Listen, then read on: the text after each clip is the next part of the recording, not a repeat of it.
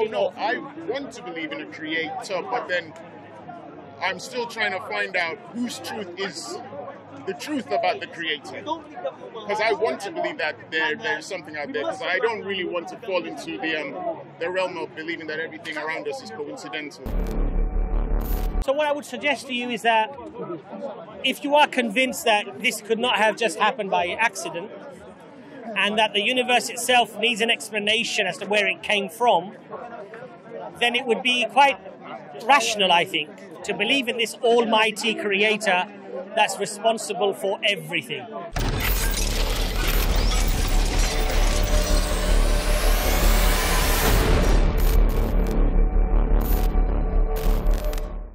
That wasn't what was meant, it was actually this. So, because it's a, it's a limitation of any language, right? Or perhaps not a limitation necessarily of language, but the limitation, of human beings to interpret the language or to know what the essence was that was meant at the time of writing it. So, for example, say in, in British law, if they said, you know, uh, self defense, Uh, a man who defends his life or a woman who defends her life, and they end up killing the other person, it would be it would come under not murder. It, we might not even consider it as manslaughter. We would just say it was self-defense, justifiable homicide, right? Now, but even within that, there might be so much to interpret. Well, okay, hold on a second. You're a very strong lad. The guy that you were apparently in a commotion with was like five foot one and weighed 75, uh, you know, kilos, right? So, you know, maybe you shouldn't have killed him, right? Now, if the, if the tables are turned, maybe he'd be justified in, in killing you because you're a big, strong guy, right? So there's always interpretation. Now, one of the very interesting uh, thing Allah says in the Quran, Allah says, you know, that there are explicit verses and some that are ambiguous. In other words, there's a room for interpretation and the people with the disease in their hearts will turn to the ambiguous ones. Okay, I see. So if it's ambiguous, the best policy is to not address it? No. If it's ambiguous, the best policy is to really try your utmost by scholarship and scholarship consensus to arrive at a firm uh, conclusion as to what it means rather than you yourself because it could potentially mean different things if you have a lack of knowledge or understanding, you decide to interpret it to fit your own agenda. Okay, I see what you mean. You understand then, what I'm saying? But then, the other thing I needed to, to know, understand from you. So when they are implementing the Sharia, yes. What happens when because you've got these different schools of thought? Yes. Hanafi, Hanaf, yes. Hanabali, yes. Shafi, yes. Maliki. Yes. How does that then work in enabling that Sharia to be 100% perfect? The, first, first of all, no interpretation is ever going to be uh, 100% perfect. We're, we're human beings, right? All we can do is we can do our best. So we're told that if a scholar that uh, genuinely makes a mistake, he does his best, but he gets it wrong, he'll get one reward. What reward is that? One reward for doing his best. Okay. Even though he made a mistake in interpreting the Sharia. The scholar who, get, who, who gets it right will get two rewards. But who decides which right or wrong? Well, according to Allah. Okay. Right? So, so, according to God, if that person made a mistake, but it was a genuine mistake, Allah will still reward him because he's trying his utmost to try to do what's good for the people. If, however, uh, he gets it right, Allah give him two rewards. This is the mercy. This is the mercy. So, but, but all of that makes a lot of sense now talking to you about it. And the Khalifa they're choosing through uh, a democratic process. Is he present? Sorry, bigger, bigger. Anis, am I plugging this into something? Yeah. So, uh, see, the, see the, I, is, or is it like the Catholic Church when they choose the Pope? No. So what would happen is, when, for example, the Prophet Muhammad, peace be upon him, died, a group of the most knowledgeable companions uh, who were regarded by the people to be the most, uh, you know, competent and religious. They did a shura and they decided a, a, a, a, a meeting, Shura is a meeting. a meeting, right? A, a, a discussion or a uh, you know um, a shura would be not a debate, but it would be a meeting basically to ascertain who the best person should be to lead. All right. So they chose Abu Bakr radiallahu anhu. When he died, another group came and they decided it should be Umar Khattab radiallahu anhu. When he passed away, another group was formed and they chose Ali radiallahu anhu, the uh, Prophet's uh, um, uh, nephew, right? And that group, how do they come into fruition? The people vote, choose them, or who chooses them? So, the, so effectively, it would be the people who would decide that uh, that you are the best, really, to lead us. So, for example, in, in Islam, the way that democracy works, or uh, the way the will of the people works, is that if I live in a town called, say, Redbridge, we would call a meeting for the people of Redbridge to come, and we would put forward who we think is a good person to represent us in Redbridge. Okay, uh, if I chose you, I said this guy is a very upkeep, uh, you know, he's, he's very honest, decent, he's very educated. You know, I think we should choose this person. If the group decide that this person is good for us, you will then go to the shura meeting of all of those who've been elected, and then you amongst yourselves will decide who the amir should be for the whole group, for the whole country. Now, if you're not doing your job, the group can form again and say, look, he's not doing his job. He's actually he's done this wrong, done that wrong. We don't want him anymore. We want this person. They choose another person. That person then becomes your local representative. All of the local representatives would meet, and they would then decide who the Khalif should be. So in choosing, they're going through a democratic process Well, to choose. but the problem with democracy is the When way I say democracy, I, don't I understand what you're saying. It's the will of the people. Okay. The, the, pro- the problem is in Islam, what we say, for example, is anyone, the Prophet ﷺ said, who stands up to be elected, wants leadership, craves, desires leadership, should not get it. Because usually, the one who craves it is not the best person. So it's the one who doesn't want it who will be chosen. And in fact, Umar Khattab, anhu, he said, I don't want the Khalifat. I don't want the leadership. It's a big responsibility. And they said, Amir al Mu'mineen, there is nobody left. We want you. They literally forced him to accept it. And, and this, is a, this is a sign of a good leader because he, he realizes that the responsibility that's on my shoulders and the accountability to God is so great and I have to be so squeaky clean that you know I don't want this responsibility. And those are usually the best people to lead you.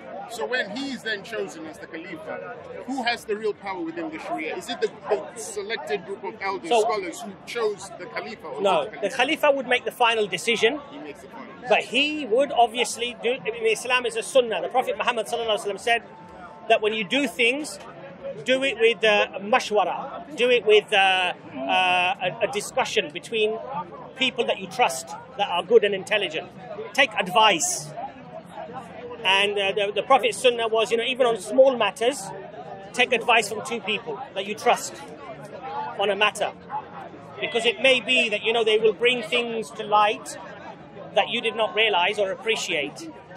And in fact, now we've realized, even through social sciences and science, that boardroom meetings or meetings often have a real, uh, real purpose in, in, in directing what strategy you apply.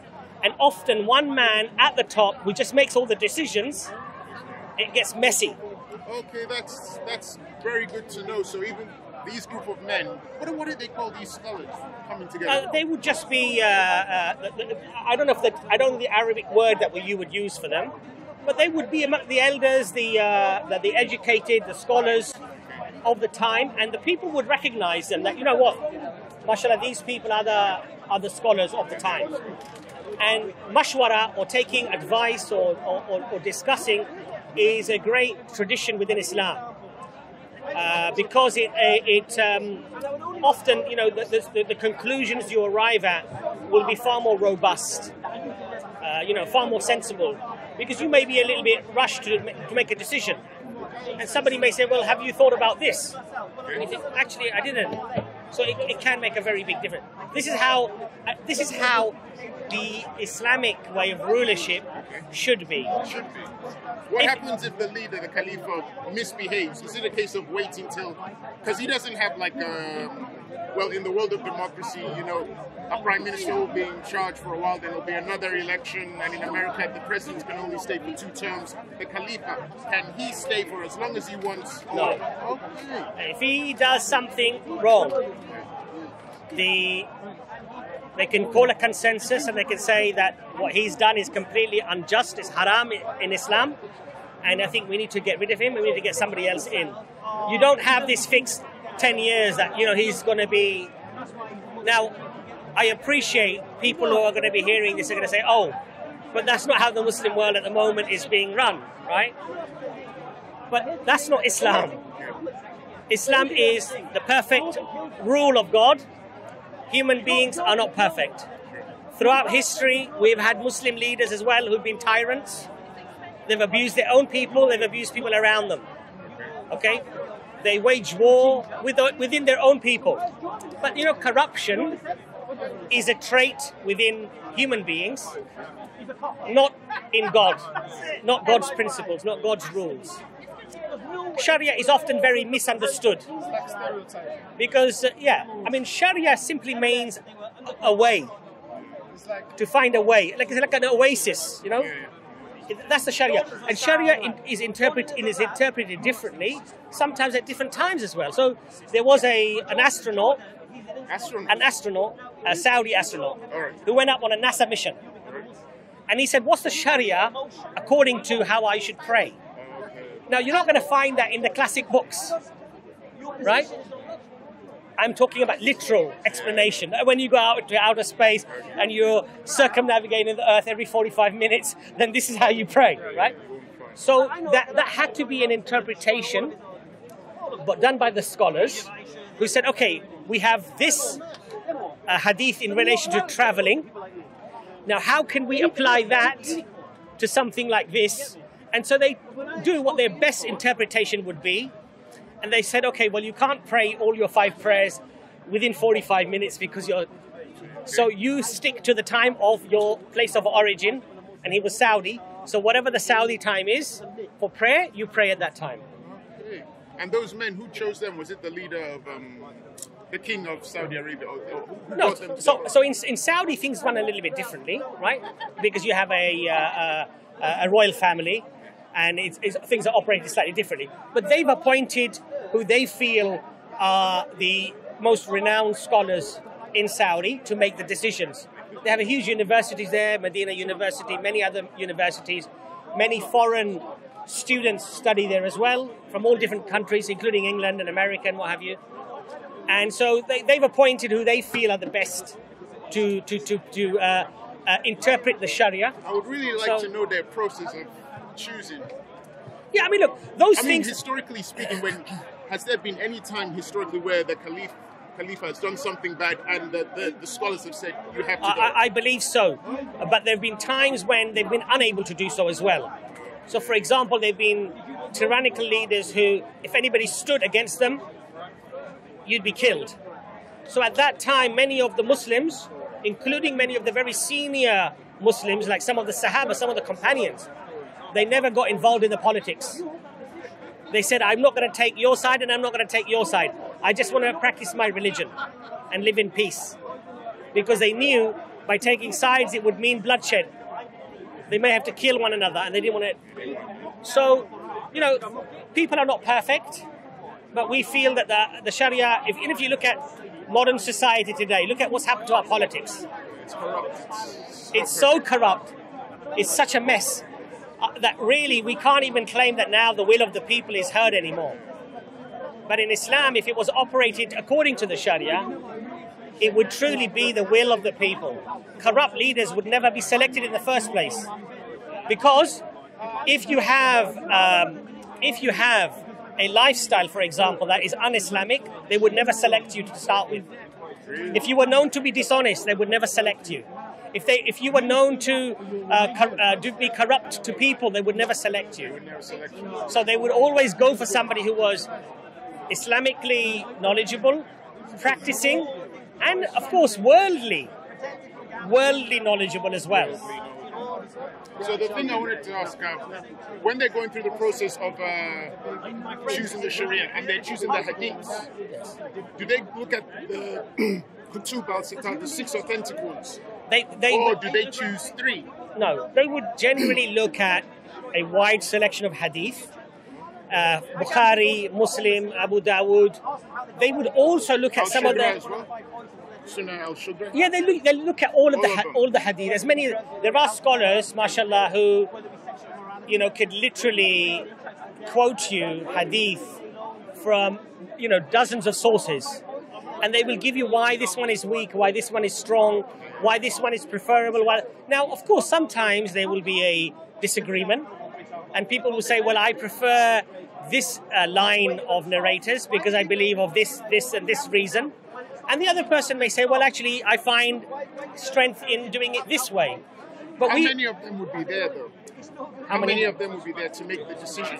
No, no. So, for example, I'm guessing they're gonna let, have let me say, so for example, if I have a problem with, um, let's say, uh, I'm doing a business, and I want to find out if my business is halal, is permissible, permissible. I may go and ask a scholar in my local community, who may say, okay, email me the question. I will ask my teacher or my scholar who I trust on this matter. And we have now, alhamdulillah, scholars who are experts within finance. We have scholars who are experts within medicine. They themselves are doctors or surgeons, and they're, and they're scholars. So we can direct those questions to people often who have the best uh, ability. Now, even then, that is not a guarantee that you will get exactly the same answer. But what we have to appreciate is that those uh, those uh, differences are often on most of the very small issues. We're not talking about should I pray five times a day, uh, should I go to Hajj in, once in my lifetime, uh, is God one, is the Quran from God, you know, is Prophet Muhammad the peace be the last prophet? Those are in stone. Yeah, that's the easy stuff. The the the, the aqidah, the, the main aqidah, the foundation is in stone. Uh, the minor issues like in salah, in a prayer, should I hold my hands here or should they be here? You see, those might be some discussion. Some people will say, actually, I find a lot of hadith to hold it up here. Some people will say, actually, it's okay to hold it here. Now, we don't believe, and scholars also say that these are minor things. Allah is not going to throw you into hell or heaven because you held your hands here or held. You understand my point? So we have to be, uh, you know, a little bit more pragmatic and understanding. A person who constantly looks for differences is looking for division. Okay. You know, when especially when it comes to minor issues, where you have uh, all this consensus. Uh, stick to the consensus. You know, um, often you find people argue about these minor things. They don't pray. I didn't even know they would, but then I know nothing about it. But I didn't think they would argue about the minor stuff. But I wanted to ask because you mentioned the um, the hadiths, you mentioned Sahih al Bukhari, Sahih Muslim, you mentioned Sunan Abu Dawud. yeah. So what happens if a group of people from a different region they set up their Sharia, but they don't use those hadiths? Is it still a Sharia? Ye- yes, of course, because Sharia simply means uh, to find a, a path or a way. The way that you're finding is to God, right? To get closer to Allah, to be obedient to Allah's commands. Okay, as long as they do what they do in good faith, in the best ability, the differences will be very small because there aren't that many things that are m- like m- I'm talking about in, in terms of aqidah, foundational things that you could really have a, a, a massive debate on. It's the minor issues. Now, if they decide, well, we would like to hold our hands here because of this reason, that's fine. When I go to my mosque, some people hold their hand here, some are holding them slightly lower. It's perfectly No, fine. but I was asking more like if they chose to use hadiths which are from the Shia tradition and not the Sunni, so they wouldn't look at Sahih al Bukhari. Yes. Would their Sharia be compromised, or would it still be the way? It, it, it would depend, and I'll tell you why it would depend. So you might find certain hadith that you may only find in these books. Yeah. You see my point? So knowledge is power. And the more knowledge you have, the more power you have in terms of how you interpret things. So it would be, it would be, I would say, um, for an academic, wrong to just chuck away entire whole swathes of books that are widely recognized as being very strong. I mean, it doesn't make sense, right? So, for example, I mean, in, in, you're studying law. If the top five books of law, widely recognized to be really good, you said, I'm going to do my degree, but I'm going to leave these five books out, it would be. You see my point? I understand what you're saying. It would be compromised then. That makes sense. On on a lesser note. Would you like some water? No, I'm, I'm fine. you It's okay? up now. Yeah, thanks very much. On a lesser note, the other thing I was going to ask is within the Sharia, is there compensation? Like I noticed within, uh, say, the United States of America, their legal system. When people have been incarcerated for decades and it transpires that they were actually innocent and they were released, they don't get any compensation. They have to get a lawyer and then they have to sue to get. Now, within the Sharia, are people, if they are incorrectly judged to be criminals and it transpires that they were innocent, Yes. is there like compensation for them? the, the, I, I believe that the Khalif, who is in charge, the case can be brought to the, to the Caliph. And they can say that I was treated unjustly, unfairly, and this is what I have lost as a consequence. And the Caliph has, has the ability to say, okay, yes, he's lost out this much, give him this much as a compensation. And in Islam, if I kill somebody, even accidentally, I have to pay blood money to his family. I have to give blood money to his family. So it is regarded as a very serious thing. And if you kill somebody deliberately, you have to pay the blood money and, and kisas. The the the, um, the uh, punishment is, is execution if you deliberately kill somebody. Premeditated murder, the Sharia says, is execution. It does not tolerate people going around killing people. would, the, would the guilty person have a lawyer to defend them? Or it's just an order that's. It will go in front of the Qadi, the scholar. He will have his representative. They will have their representative. They will argue according to the Sharia, according to the law. And then the decision will be made. And finally, then anything that's going to be handed out. It's a, a process which is quite remarkable because we're talking about the 7th century. In the 7th century, there was no law, there was no order. And you imagine at that time, these systems were set up. Prior to Islam, there was no law and order. It was a savage, savage society. None whatsoever at all. It was might is right. The Arabs lived with the with the uh, Well, even the, the Jewish, the uh, Ban. Banu Qurayza and Yeah. Banu Because they followed the uh, Torah, They they, followed the their Torah. laws there. They had their laws. They lived in their communities, their their uh, fort, their forts, and uh, their laws were their laws. And so even when um, Islam conquered the whole of the Arabian Peninsula, the Jews were allowed to operate their Sharia, and the Muslims operated their Sharia, unless if a Jew had done something to a Muslim, killed them or something like that, then the Sharia now is a legal law that applies to everybody. But it was a system established, and this is where a lot of people don't appreciate that this is the seventh century where the world was full of savagery, and Allah set down laws of inheritance, uh, you know, laws of governance, you know, uh, rights for women. You know, one of the sayings of the Prophet Muhammad, peace be upon him, you know, the best of you are the ones who are best to their wives. In the seventh century, you know, that is something that maybe people have only spoken about in the last 50 or 60 years. Be good to your wife. It's still a joke in the pub now about your women, about the wives and stuff. In Islam, actually, strictly speaking, you're not supposed to do that. You're not permitted, for example, to even talk about things between you and your wife uh, of an intimate nature as a joke is regarded as something that is very uh, disgusting, disgraceful, You just, out of respect. from what you've said, you've actually just You know, like back in the day, come to the question in my head. So within the Sharia, from what you've just told me, how is domestic abuse dealt with, or is it not addressed? The, uh, uh, the Prophet, not the, the, the the- the Prophet Muhammad sallallahu alaihi wasallam, he, and this is the seventh century, he brought the people in and he warned them about abusing their wives. And in Well, you fact, know when you think about it, geezer who's had too much is going to come and try and take it out. you cannot force your wife You know what I'm saying? to uh, do your cooking and your cleaning and your ironing Why would you want to go and even looking after the kids. She doesn't have to do that. losing their minds? If she says, I want, I need some help, you have to help her.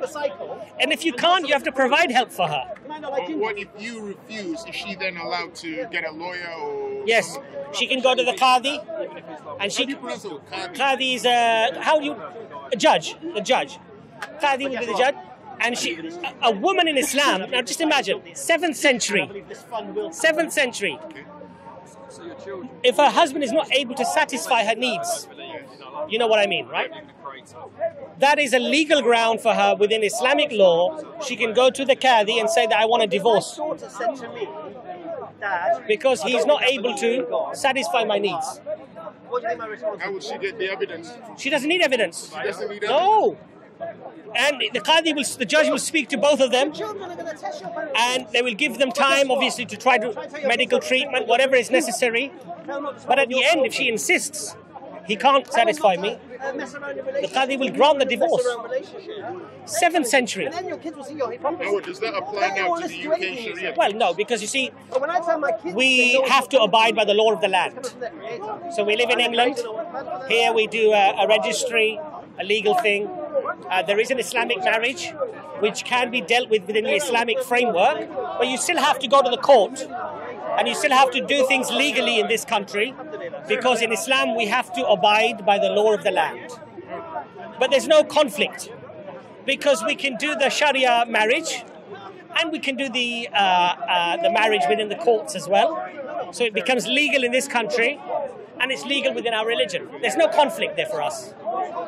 I did see a woman once who uh, wasn't happy with the Sharia decision in the UK and she went to the courts, which kind of confused me because I thought that you could either choose one or the other. They weren't intertwined, but it seems that she was still able to challenge by going to a UK court, which surprised me. No, but she can because remember she's in the jurisdiction of the legal system of this country. So the law here recognizes a law, a marriage done in a registry office, right? That's been witnessed and you know signed and everything else. Now, uh, legally, she would still have to go there and have the marriage annulled anyway, because otherwise she's legally tied to the person, right?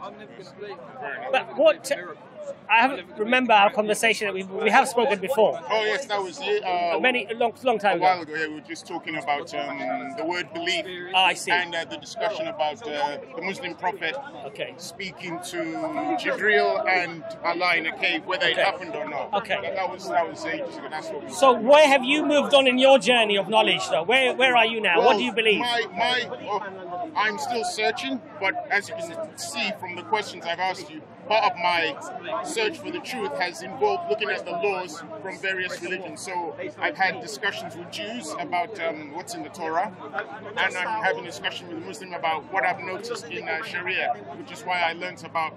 You know, the Sharia will be made up with verses, surahs and ayahs from the Quran, certain hadiths, and there's another process, ijma. And so I was learning all about that. So I then, so I'm still searching, asking questions, doing research. But then when I do the research, I think it's also important that I talk to Alhamdulillah. people about it. Alhamdulillah. No, that's So very good. That's what I'm doing. That's very good. But in terms of your concept or your anchor to believe in a creator, are you there yet, or are you? Is that something that you're still debating? Oh no, or I want to believe in a creator, but then I'm still trying to find out whose truth is the truth about the creator. Because I want to believe that there there's something out there. Because I don't really want to fall into the um, the realm of believing that everything around us is coincidental. To me, there are too many amazing things for me to believe it's all coincidental. I believe there's an external source responsible, but whose truth defines that external source? Is it what I used to be a Christian, or is it what the Jews say, or is it what the Muslims say? So that's when I do the research and I look at the laws and the spirituality. But one of the things I would say to you there is that if you look at the you know the poster there, for example, of all of the religions that we find, generally their core core teaching is this one all-powerful being. Now, whether we say creator, whether we say God, whether we say Allah, or whether we refer to that one single all-powerful creator being as what the other religions may refer to him as, that one thing I think is pretty universal. So, at least what I would suggest to you, perhaps if you accept that, I will, because at least accept that first foundational, you know. the tribe that I'm a part of in Africa, there's a the tribe I'm a part of the Yorubas. Some of them are Muslims, some of them are Christians, some of them stick with the Yoruba religion.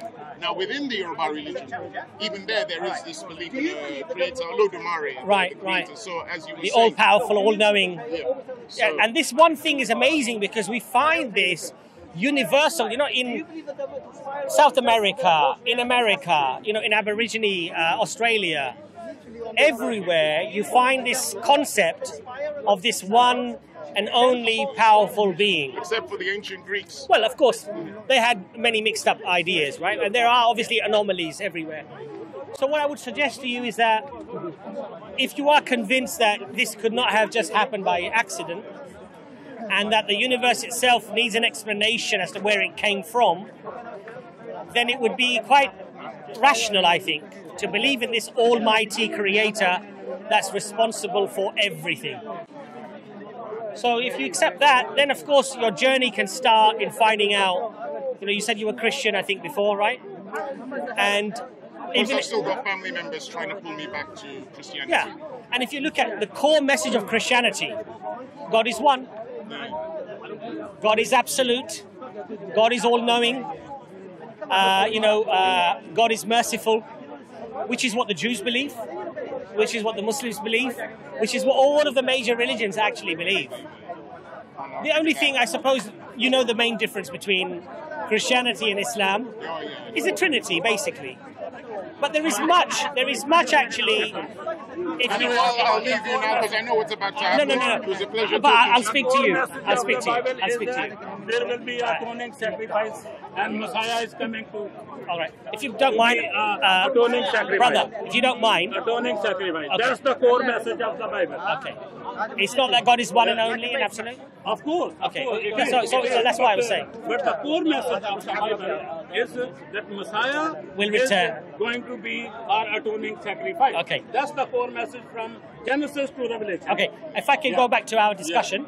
So even if you were to accept what he said, I, I recognize what yeah, you're even if you accept what he said or, or recognize what he said, that the reality is that the core, let's say, foundational teaching of Jesus was that God is one, God is only, God is absolute.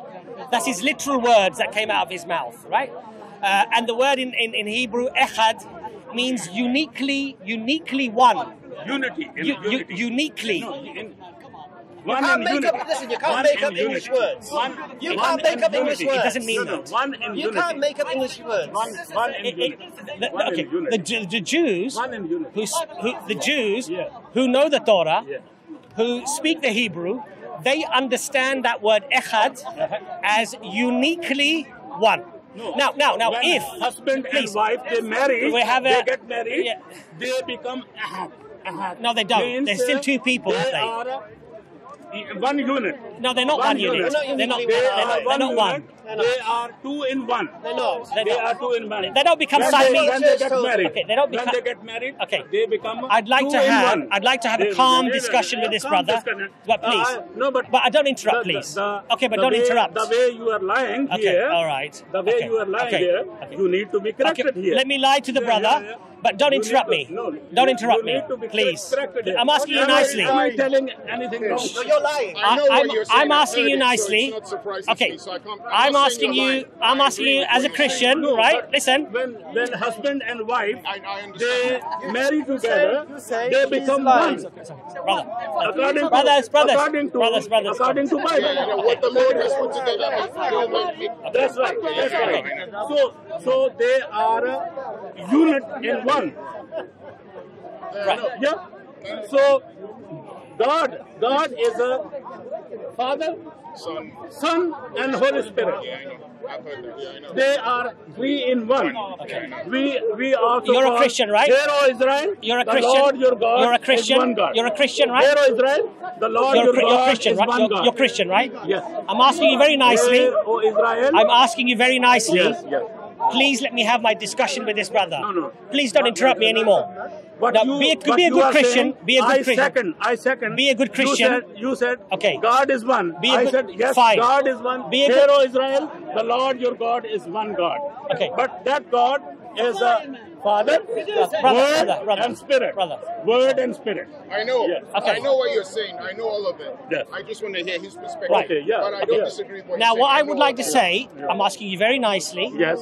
Please be respectful. Yes. I'm having a conversation with this brother Yeah.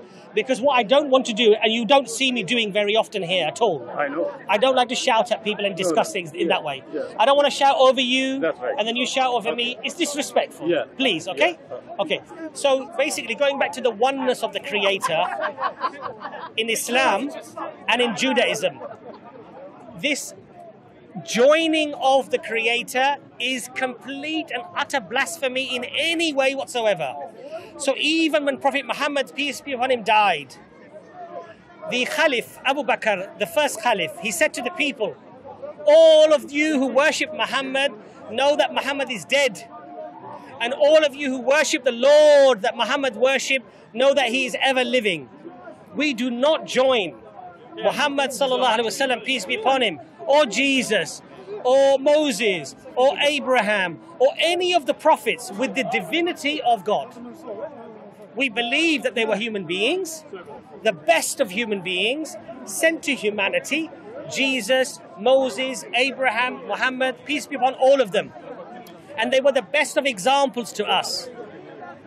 But we do not elevate them as others, not just Christians, as others previously elevated their people to a status of worship. We worship nothing but the Creator. So we worship the one who sent Jesus. We worship the one who Jesus spoke to. We worship the one that Jesus prayed to, but we don't worship Jesus. And we don't worship Muhammad. And we don't worship Moses. This is our doctrine. This is exactly what the Jews believe in terms of the oneness of God. Now, there are Unitarian Christians who don't believe in the Trinity. There are Trinitarian Christians who do believe in the Trinity. That's their choice. That's their choice. Look, I, I say respectfully, that's their choice. If they believe it, they feel they have grounds to believe it, that's their choice. But for us as Muslims, we don't join anything to God. Can I please uh, read something from uh, Genesis chapter one? You've 1? asked me I'll- very I'll- nicely. I'll, depart now. Please do. Genesis. Thank you very much for your But time. uh, continue, continue your journey, My inshallah. brother, But what I would say to you is this my that just as we make our decisions quickly, when the consequences are grave or could be grave, we make the contemplation very, very quickly, the analysis very, very quickly, and we try to come to a conclusion, a decision. Because life and death is not in your hands or my hands. I could drop, de- I could drop dead here Time now, running out. right? Yeah, time could run You could be out. crossing the road and you're gone. Before right? you go, brother, so what I would say is that I'm not saying rush into it, but don't be so complacent that you become like me, an old grey man, and you're still thinking about it. You know, you know. I understand. You coming back uh, next week or Let me read. or maybe we'll meet Let something. me read. Let me read Nice to this meet verse from Genesis chapter 1.